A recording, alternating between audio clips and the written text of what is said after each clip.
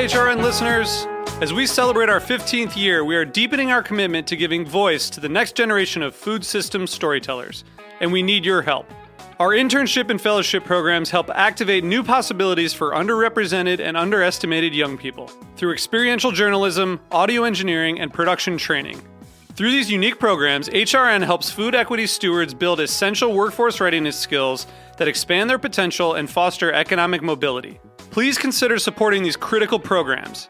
And with a minimum donation, you can be entered to win a dinner for two at an amazing restaurant in one of eight cities and tickets to a concert at a great venue in one of those cities. We have incredible partners across the country who have donated, as they also share our passion for helping to educate the next generation of food systems storytellers. Check out heritageradionetwork.org slash 15 to donate and enter to win today. That's heritageradionetwork.org slash 15 to donate and enter to win today. And make sure you donate before March 31st. Thank you.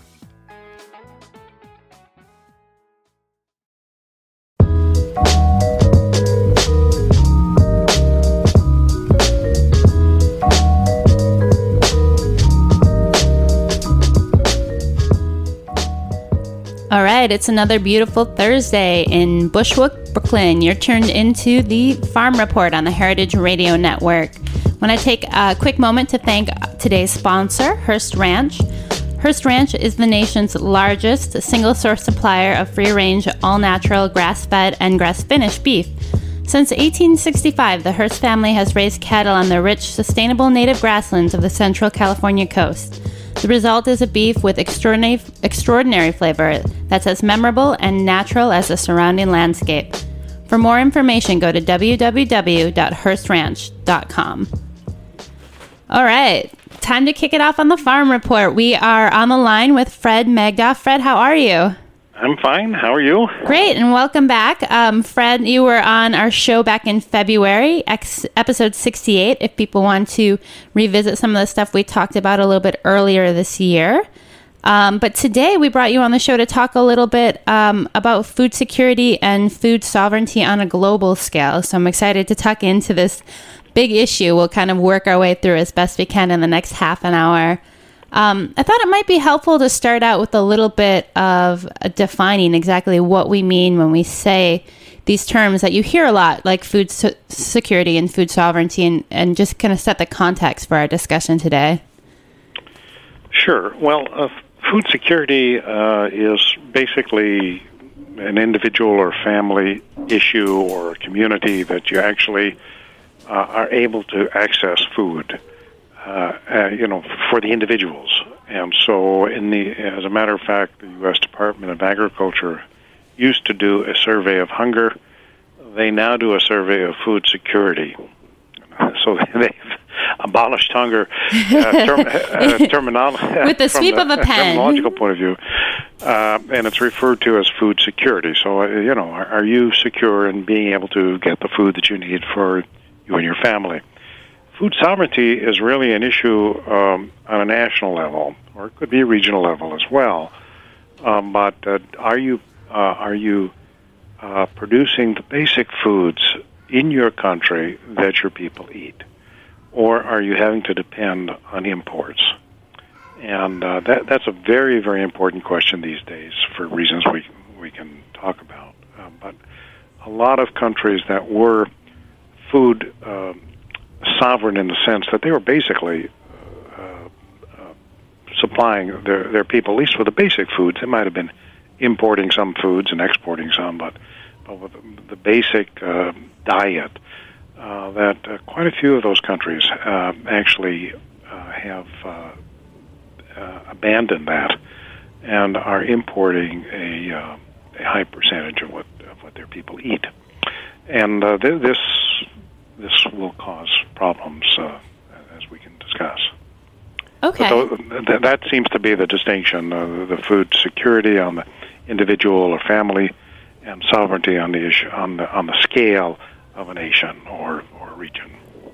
So, as I mean, as we are t- we tend to be on the show a little New York City uh, and New York State focused. You know, we've talked about these issues of, of food security and food sovereignty with guests on the show before, and I think it's something interesting to note that that even though in the in the U.S. we have this really overabundance of food to the point where we have this exploding kind of obesities and diabetes crisis, the the issues of food security are are still very real. Um, here within the city, where there there are a lot of families, I think seven, you know, one in eight families is uh, food insecure in the city. So this is this is an issue, um, you know, not just in the the um, not not just in these faraway places, but also here here in the city. But I think today we want to kind of focus on uh, things from a more global perspective and kind of talking about how there's this uh, interaction between countries like the U.S. and maybe some of our neighbors to the south, and how our our food system here or our farm bill is is impacting some of some of those some of those other places around the world. So Fred, I was hoping you could kind of, you know, talk about. We hear this figure tossed around a lot that you know by 2050 there'll be nine billion people in the world. Um, I know about two third of them living in cities, and you hear often that there's there's kind of not enough food out there to to feed that many people. And how are we going to solve this this impending crisis of, of not producing enough food and and preventing people from you know being hungry across the planet? Is that is that a real is that a real fear? I mean is, are we really in danger of like running out of food on a global scale? I don't think so but but it means we have to be careful. I mean right now there are 7 billion people in the world and so um, approximately and about half of those living in cities more than half now are living in cities um, and uh, and that that figure that you mentioned is is what is generally accepted uh, nine nine point two billion by by mid century. So um, I mean that's a substantial increase in in the amount of food that needs to be produced. Uh, on the other hand, we can see right now. Um, well, let, let, me let me just go go back a, a, second, and we can we can come back to your question. Sure. But there is plenty of food produced right now, obviously within the United States to feed all the people in the United States. So we have uh, some 50 million people that are considered to be food insecure in the United States, uh, with some 12 million or something like that that are considered to be very severe, have very severe food insecurity, which basically means you know that people are skipping meals uh, in these families on a regular basis so that others can can eat within the family.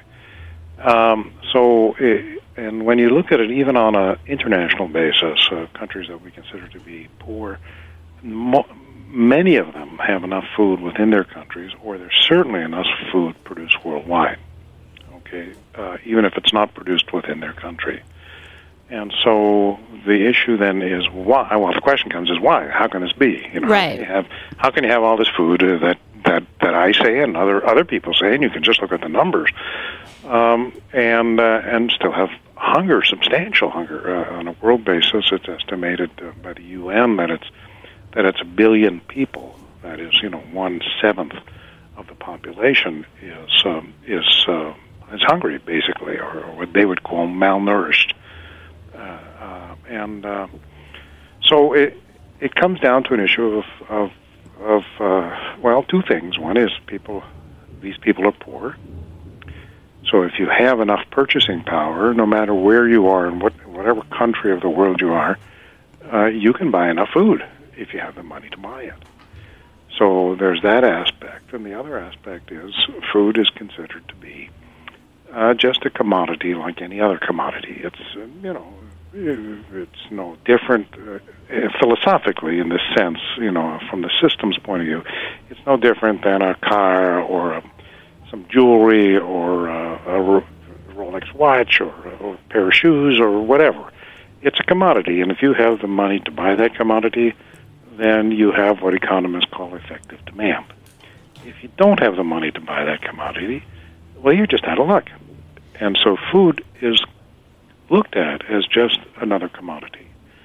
Now, there is an exception to that. I mean, like in the United States, we have what used to be called the food stamp program, SNAP. You know, so there, is at least a lip service given. It's not it's not enough to eliminate the problem, but at least there's some acknowledgement that that uh, we need to help people uh, get a sufficient supply of food. There isn't an equivalent program, you know, for cars or for you know other commodities. Right, right, so, right. so, so to a certain extent, in some countries, that's recognized. but it's not. It, it but it but it still um, goes back to that issue that that uh, it's essentially an issue of poverty, and poor people don't have this what economists call effective demand, which basically means they just don't have the money. So. Um, so this is the underlying issue. I mean, you, you had you had situations. This is long before the food crisis of 2008 and the current food crisis that we're in now in 2011, which is getting to be pretty similar to what happened in 2008, which was very severe its effects, and we could talk about that on a global scale. But long before that, there were stories. Uh, I have uh, uh, stories from the New York Times and the Wall Street Journal from 2002, 2004, from India where there was wheat, you know, ro- literally rotting on the docks. They were going to be exported. It was going to be exported, but it was rotting because they weren't taking good care of it, and there were people starving in the country. And uh, and so you have even in some uh, of the poorer countries in the world, you can have food surpluses at the same time that you have people starving. Okay, right. the, so the, the, the food surplus is going to be exported it's going to be fed to animals, and now we have this whole other issue, of course, with biofuels.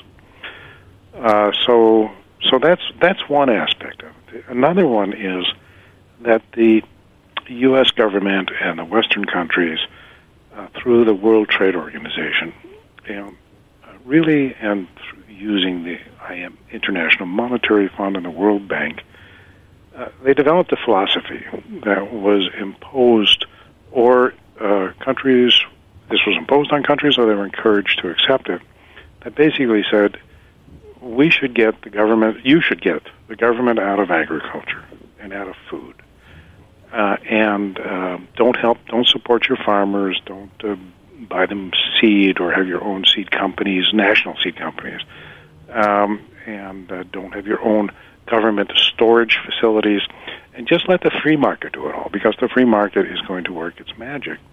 uh, and the reality is, this didn't happen. Mm-hmm.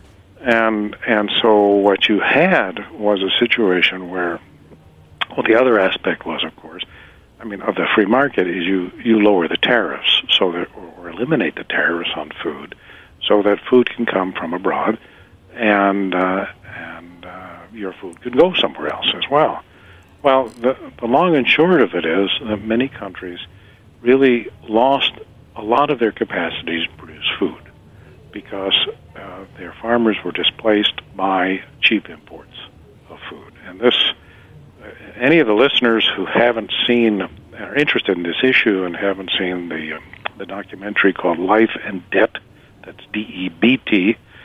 Uh, it's about uh, Jamaica, and one of the themes uh, of the of the documentary. This isn't the only theme. Is really the destruction of Jamaican agriculture by imports from the United States.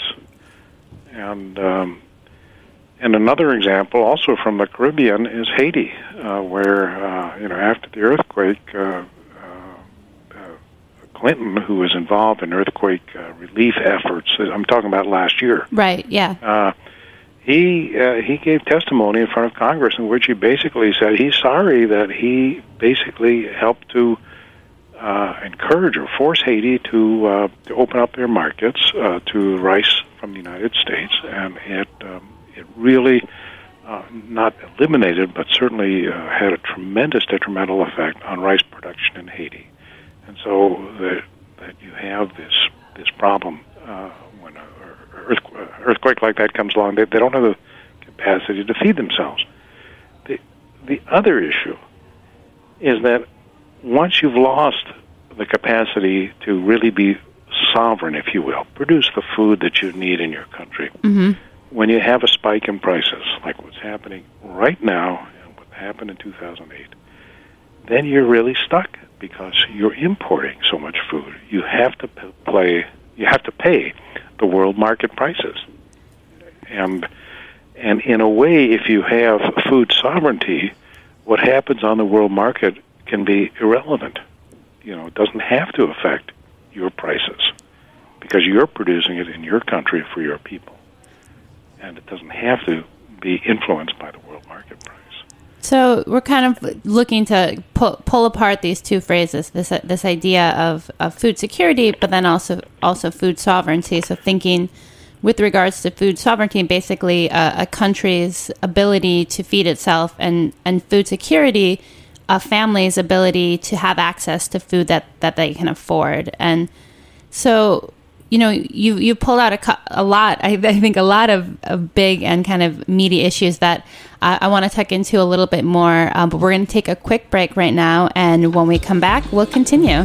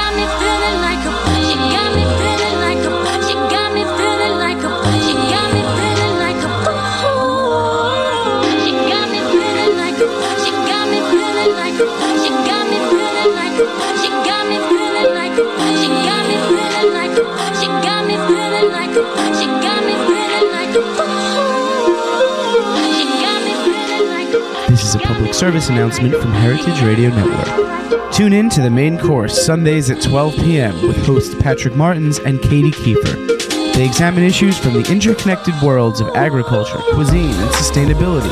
They sit down with key players in the chain from producer to consumer farmers, distributors, chefs, activists, and journalists. The main course explores every important component of the eating experience how the farmers raise their product, the distribution channels that move the product, how the chefs prepare it, and how ethics and policy affect everyone involved. Again, that's the main course, Sundays, noon, on the Heritage Radio Network. Okay, we're back. You're tuned into the Farm Report, and we are on the line with Fred Magdoff talking food security and food sovereignty on a global scale.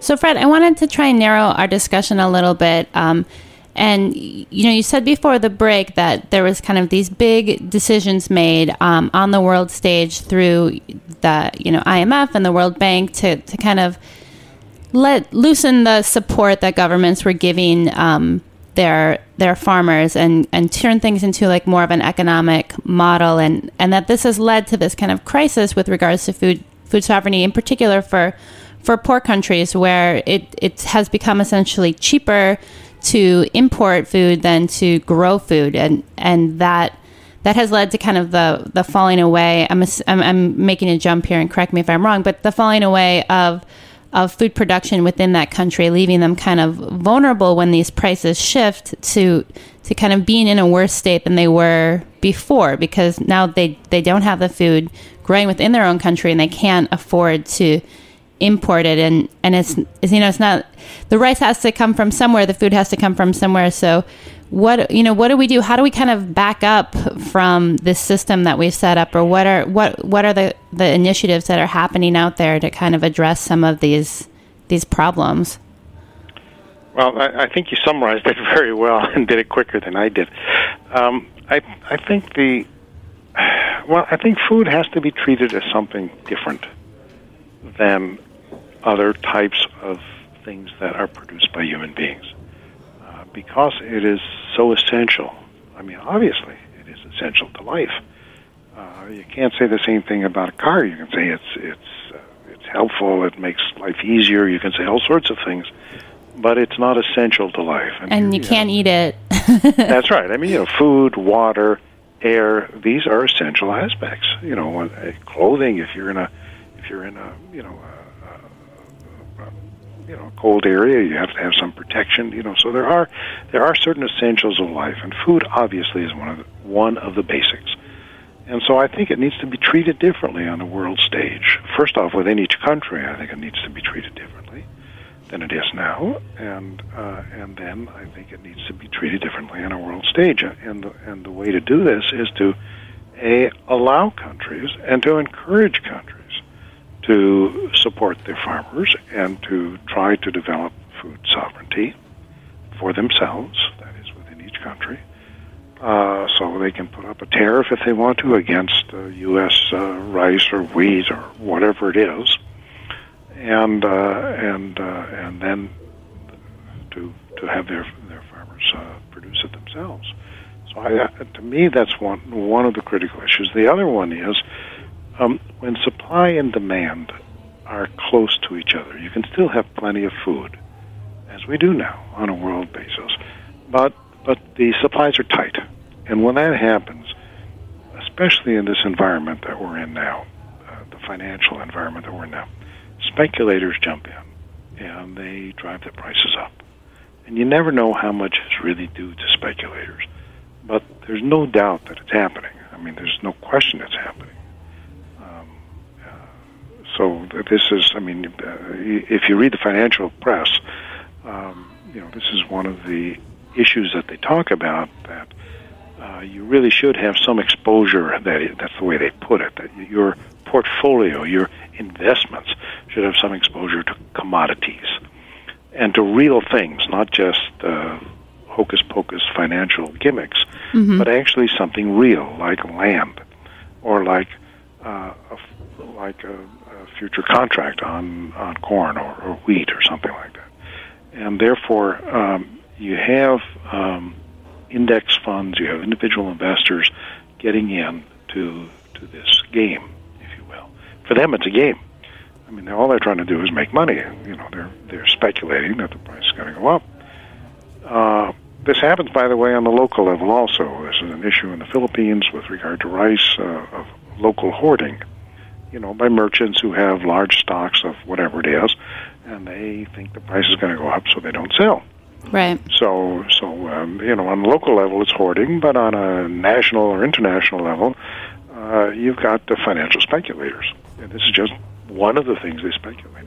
So I would, if I, if I was able to control things. Yes, we'll give you a magic wand for a minute. if if I had the magic wand, I would say a. Do not allow speculation in food. Period.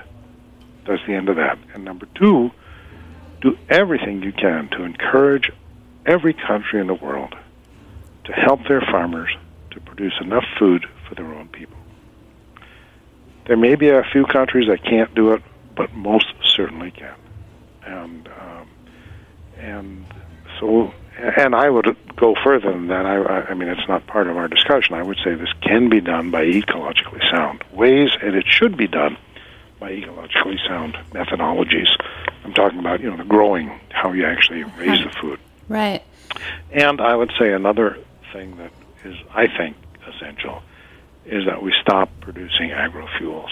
That we that that is also part of the problem. That uh, that uh, that uh, products that could be used to feed people are being used to feed cars. We can't eat the cars as we discussed before. Right, right. But we are feeding cars with with what was or could have been food or feed for animals. And that in the United States it's corn, it's made into ethanol. In Europe they use canola to make into biodiesel, uh, also soybeans, and they they're buying a lot of um, of uh, palm oil from Indonesia, Malaysia, in order to convert it into into biodiesel. No. So the so-called green fuel. I mean, these these so-called green fuels. Well, we can get into it, but these fuels aren't as green as they are touted to be. But there's substantial amounts of of a product going that way, and so this has an effect in uh, squeezing demand and raising prices. Um, a, third to 40%, somewhere in that range, of the U.S. corn crop over the last few years has been made into ethanol. What happened? I mean, some, I, you know, I hear, I, I remember kind of when people first started talking about this fuel source and it was really touted as this alternative you know to oil and and this was what was going to really like you know propel our fuel needs in the future and and you know it seems like that argument has shifted really quickly i think within the the, the community that i inhabit and into this this discussion that you're bringing up now where you're essentially creating this competition for food and our ability to kind of produce these uh, you know, produce the corn and produce the palm oil isn't really there, and this isn't really kind of the the way to to create fuel. So what ha- I mean, what happened? What happened in that shift? There was this just a short sighted vision. I mean, how did so many people and things get behind this without kind of realizing? all these really important spillover effects that we're going to be impacting, um, you know, the world's ability to feed itself. Well, uh, first off, uh, two things. One is, I'll, I'll, get to your question, but I think it's also important for the audience to recognize that these fuels are not so environmentally sound as they sound, as they seem at first blush. I'm talking about both ethanol and biodiesel.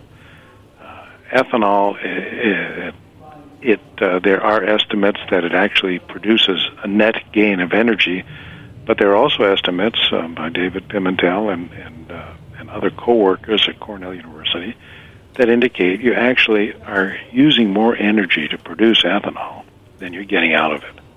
You know, because it takes so much energy to produce corn, and then it takes so much energy to distill the ethanol after it's been produced by, by fermentation. It has to be distilled three times to get the water content down to the point it can be used as a fuel. Uh, so you have water pollution problems. You have all sorts of issues. With, I'm talking now of, ethanol. Mm-hmm. And with with the palm oil, what's happening is, uh, you know, forests are being cut down in the, tropics in Asia, and uh, with massive release of carbon dioxide uh, from these uh, burning of the forest and the disturbing of the forest, in order to plant the so-called green fuel, the the, the oil palm tree that will then produce the, the, the biodiesel for Europe. Uh, but it will take uh, an estimated 400 years to pay back all the CO2 that's been that's been sent up into the atmosphere by the conversion of the land from the natural forest uh, to this plantation. And you've also displaced people, so um, so there's that as well. So, so to, to get back to your question, I, am sorry I digressed. No, I no, just, but I mean, I think that's that's a, like it's important to to point out this kind of you know we talk a lot about on the show about the the real cost of things and trying to figure out ways to to quantify like the real cost of something so that you're able you know because things are often i think compared as though you know comparing apples to apples when really there's this whole other set of of costs. And i think this is you really demonstrated it's like a great example of like really thinking through the issue and what are all the steps in that production and and being able to put that number or that idea kind of on one side of the scale and really compare it to the to the alternative in a way that's a little more fair also let me just uh, just throw this out. Um, I just did the math uh, a week or a couple of weeks ago, uh, taking the if you just take a third of the U.S. corn crop,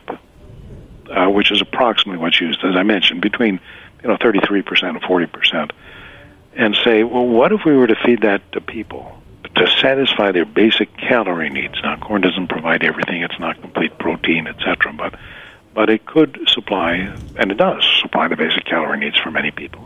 And and and so so this corn that that was going into ethanol, that is going into ethanol, could actually feed people and and just pushing a pencil, I come up with a number that that would provide enough calories for 450 million people for a year. Wow. That's the corn in the United States that's going to ethanol.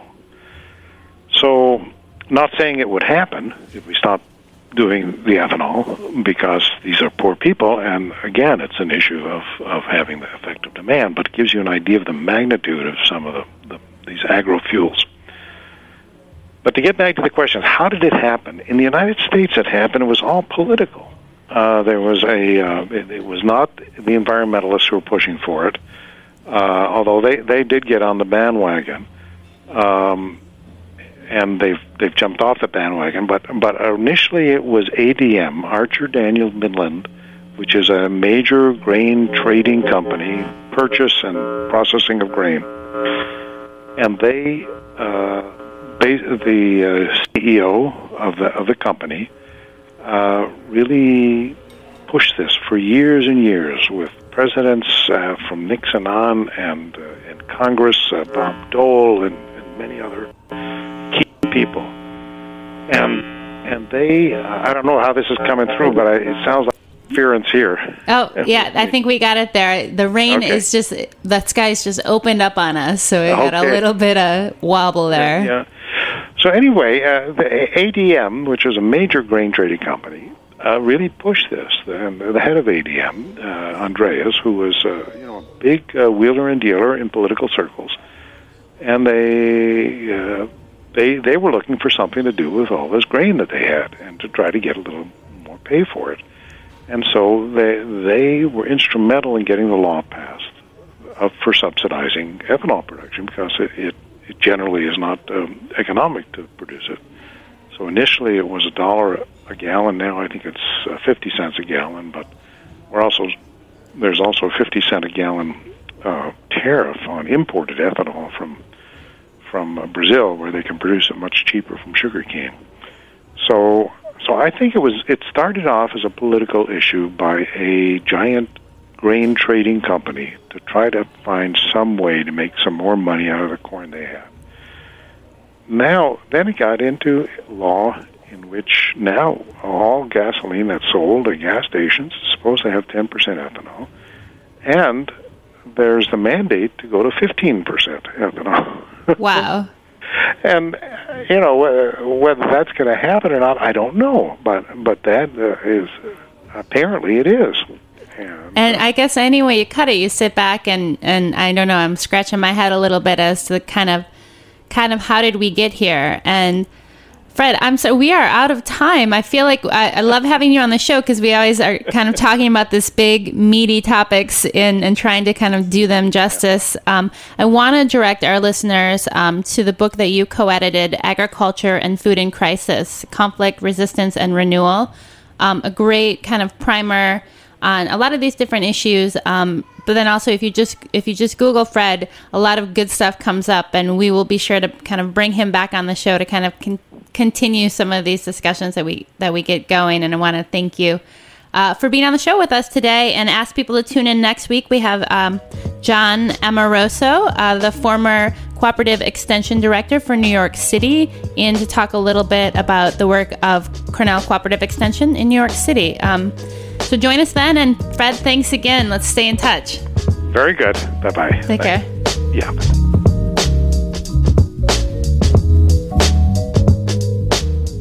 Thanks for listening to this program on the Heritage Radio Network.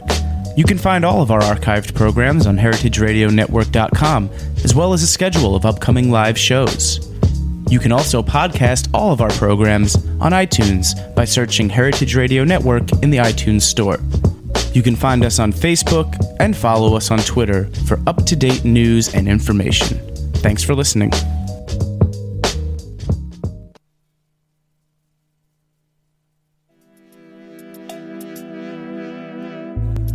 In 2010, EscapeMaker.com won an Emmy Award for their agritourism webisode, so this year they thought, why not bring agritourism and green getaway ideas right to you? Come to the Green Getaways Local Food and Travel Expo on April 30th at 1 Hanson Place, home of the Brooklyn Flea and former Williamsburg Savings Bank. Presented by Amtrak, Zipcar, and I Love New York, the carbon free event will be a day filled with food, prizes, workshops, and kids' activities. Over 50 getaway destinations, from counties to local farms and bed and breakfasts within a day's drive or train ride of New York City, will be exhibiting on the main floor and in the huge bank vault downstairs. See what's hot in sustainable travel and receive special show only discounts. Grow NYC will be doing workshops on the Green Market, and Appalachian Mountain Club will offer workshops on adventure bicycling and hiking via mass transit. EscapeMaker.com will be giving away over 50 getaway prizes, ranging from zipline adventure passes to an overnight stay at Mohonk Mountain House. Travel greener, eat local.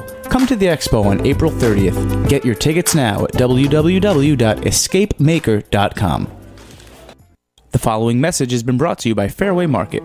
What's the buzz about honey? Well, those busy little bees are up to something, and it is delicious. The Fairway label honey is superb. Fairway only hires worker bees that are the best at what they do. This makes for a great tasting, high quality honey at an amazing value with the Fairway stamp of approval. And on top of being delicious, honey is a great substitute for other sweeteners and can even benefit your health. This includes better energy, respiratory improvements, and balanced blood sugar levels. It's a no brainer. Get your Fairway honey today.